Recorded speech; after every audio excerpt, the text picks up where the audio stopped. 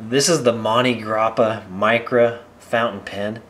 It comes in a green full leather box. We have the Montegrappa 1912 logo in gold on the top of the box. It has a decorative gold band or pattern that is embossed or printed around the top of the box on the lid.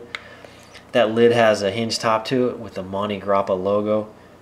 It has a nice felt type fabric on the inside of the box. Included with the pen is a rag for the pen with the Montegrappa logo on it. And of course we have the Montegrappa Micra fountain pen. It's a little compact pen, it's a little shorter.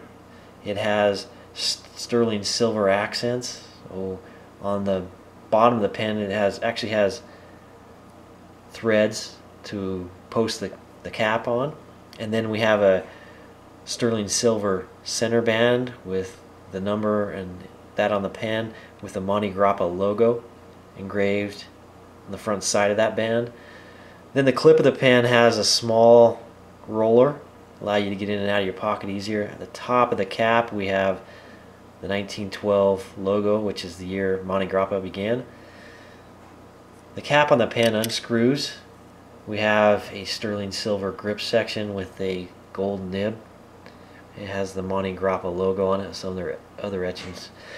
To exchange the ink on this pen, it's a cartridge style pen. You unscrew that grip section from the barrel and included with the pen are two ink refills. You can slide those into the grip section to use the pen.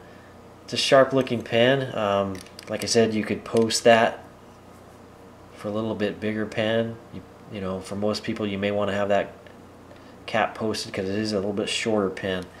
But it is a it's a compact pen. It's a nice looking pen.